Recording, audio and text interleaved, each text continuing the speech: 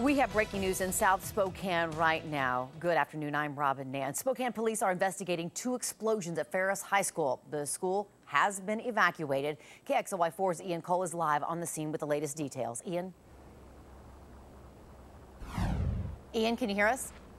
I can hear you now. Yeah, we're uh, outside of Ferris right now, where Ferris have just, uh, where students have just been told uh, that they can go home. The students that are uh, basically walking or driving home uh, you can see there's quite a few students outside. The students who can't, who take the bus here, have been told uh, to wait in the gym uh, until the buses arrive on campus. I'm going to duck around you here now. We're just joined now by Sienna. She's a uh, Sierra. She's a senior here. And what did they tell you about this? Um, they just basically said that there was a couple maybe bottle explosions, one in the F building by a bathroom and one in the commons um, by the lunchroom.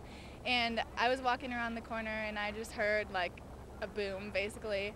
And then there were janitors, and then eventually they uh, marked it off with caution tape and said that we should all go home. What was your first thought about what it was? Um, I had no idea. Well, I knew about the first explosion or whatever, and so I heard the second one, and I just figured, oh, it's another one in the bathroom.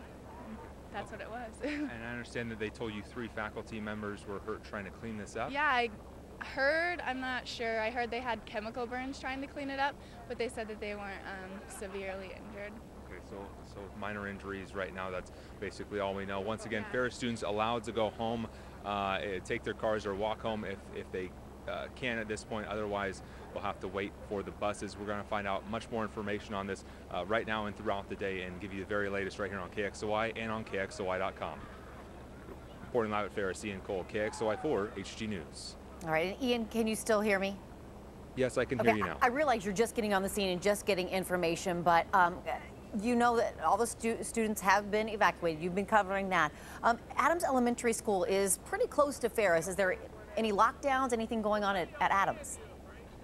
Uh, we don't know right now. We were able to uh, drive right here onto campus. Uh, the perimeter is basically the school. They haven't uh, caution, put any caution tape around or blocked off any of the entrances to the school. So we don't know that right now, but we do know that at least they're allowing students to walk home, and they it appears uh, that they do believe it is safe uh, around the campus right now. So that's something we'll figure out very soon. Okay, Ian, thank you very much. We're going to be checking back in, and as Ian has said, two explosions of soda pop bottles, two liter bottles. And we've done stories on this in the past that, uh, and here you're seeing some video that we have found online they can explode with some pretty serious force. They can injure people, and they need to be taken pretty seriously, and that's what police and fire are doing. Again, Ferris High School has been evacuated. Students are able to leave if they are walking or if they drive. If they're waiting for a bus, those buses will be uh, there shortly, and those students are waiting in the gym. The school, they believe, is, lock, is, is safe, and students are, again, being able to leave.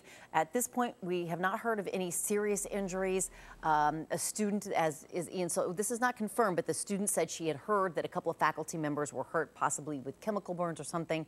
But again, that is not confirmed. That is just from what a student has heard. Um, Again, Ferris has uh, been evacuated, and you're looking at a live picture right now of the scene and we will be uh, checking back in with Ian. He's going to get some more information for us, but everything seems to be safe, no students hurt, and we'll be uh, bringing you more updates throughout the, the afternoon. And we're sending you back now to ABC programming.